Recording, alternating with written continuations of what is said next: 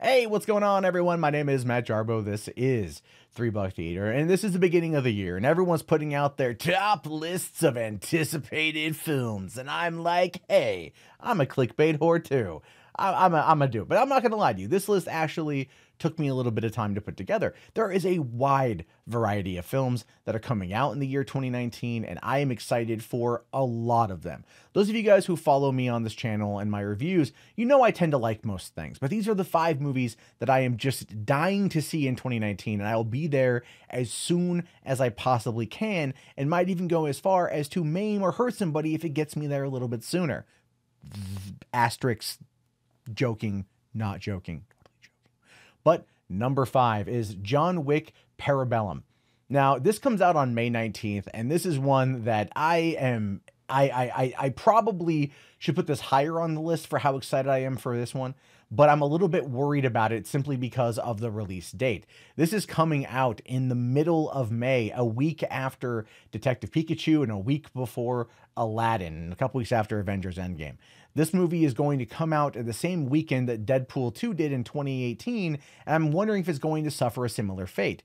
They released the last one in February 2017, and it did pretty well. I don't know why they're pushing for a summer release of an R rated film. That's just where it is in that particular front, but still, this is the conclusion of John Wick's story. The story that began in 2014 and it's just taken over the cult film world by storm. Everyone who sees John Wick loves John Wick. This is Keanu at his best since The Matrix. This is a character that feels so wholly him that I cannot wait to see what happens as a result of this. Never mind the inclusion of Halle Berry, uh, and the whole world is after John Wick. Yeah, he's back working, and a lot of people are going to suffer for trying to take him out. And I think it's going to be a lot of fun, uh, especially considering the fact that they are doing a spin off TV series for stars called The Continental, and he is rumored to make a guest appearance on there. But I don't quite know if a John Wick show without John Wick is really going to work, but we'll have to wait and see. But also, to be fair, the director of the film wants to do infinite sequels, and I don't think this is going to be the last time we do see Keanu as John Wick anytime soon. Number four, Zombieland 2.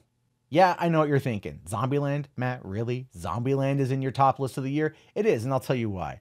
Back in 2009, when Zombieland came out, it was a breath of fresh air in regards to the zombie movie genre, a genre that I absolutely and wholly love.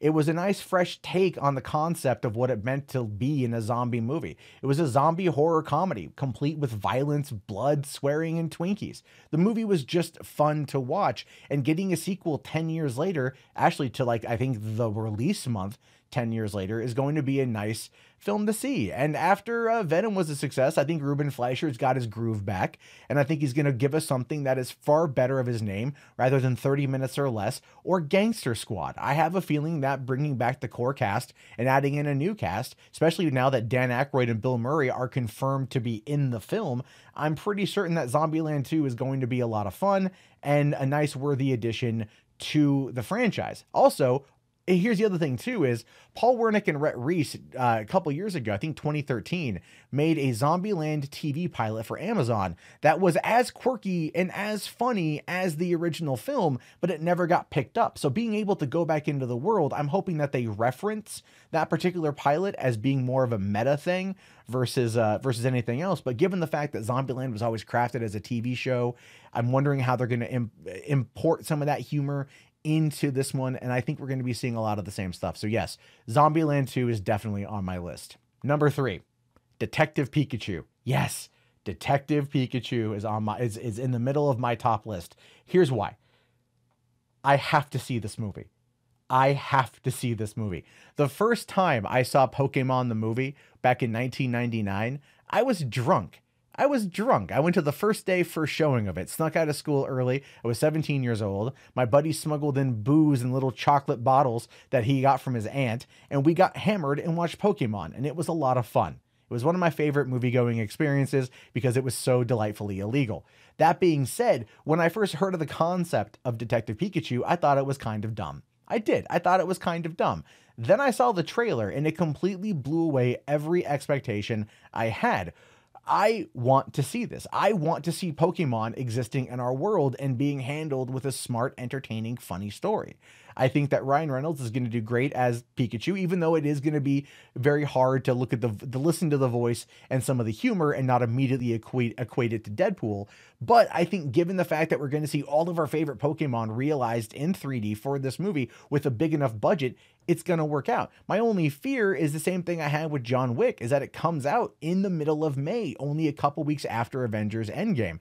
And that is going to swallow everything around it. And I just feel that uh, it's not going to do as well as it could by releasing it at a different time of year we're going to hopefully see bigger, you know, see a good box office return, but I don't think this movie is necessarily going to make it. So, yes, it's part of my anticipated list because I want to support it. I'm going to give it money and I want it to be able to be a reality. Because seeing more movies set like this, I would love that. I think that'd be amazing. We have the technology now to make it well work. So, yes, this is one of the reasons why it is number three on my list.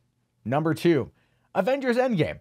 I know you're thinking, Matt, come on, Avengers Endgame is not number one on your most anticipated list. No, it's not. It's number two. It's a it's a close call between number one and number two because I've been in the Marvel Cinematic Universe since the beginning of May 2008 when I went to an actual midnight showing of Iron Man with my kid sister and, and realized that the Marvel Cinematic Universe was upon us and so happy with everything they've put out thus far. Now, even though I'm not necessarily the most excited I could be for Captain Marvel, I'm still going to go see it. And I want to see how it's going to be included or how she's going to be included in Endgame.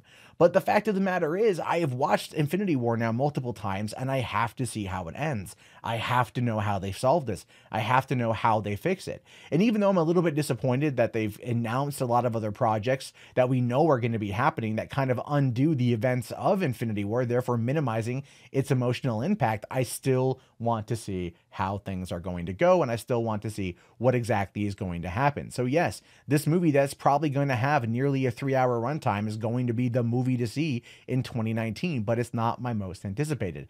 In fact, that one, well, it's this. Number one, episode nine.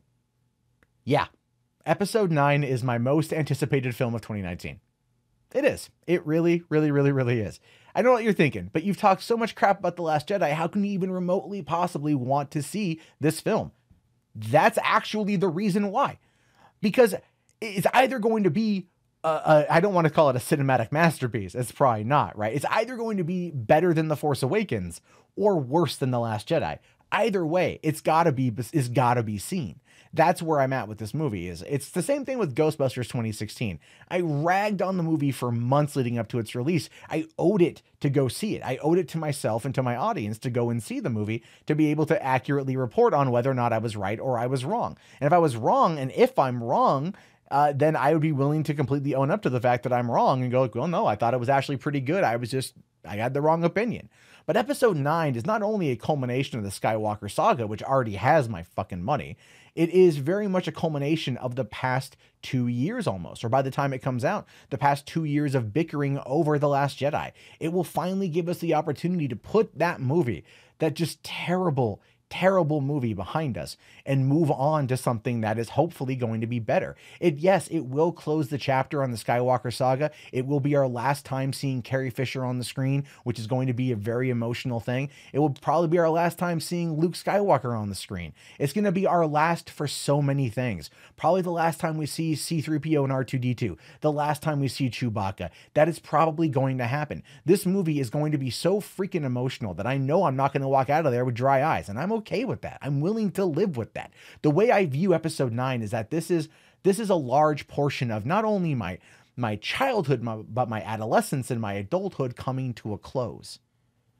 Now, what this movie should technically not be the final chapter. It should be chapter 10, so we get a proper trilogy out of this new one and we forget Last Jedi ever happened. That's not the case, but I think J.J. Abrams is going to course correct. He's going to make sure that it gives fans what they want, whatever that might be, because everyone's going to have different opinions. Provided we don't have another one of those stupid ass Canto Bight scenes and another one of those stupid ass Carrie Poppins scenes, the movie can't get arguably worse than The Last Jedi. But like I said, this is one that I want to dive into, one that I want to enjoy, because I hate not liking Star Wars.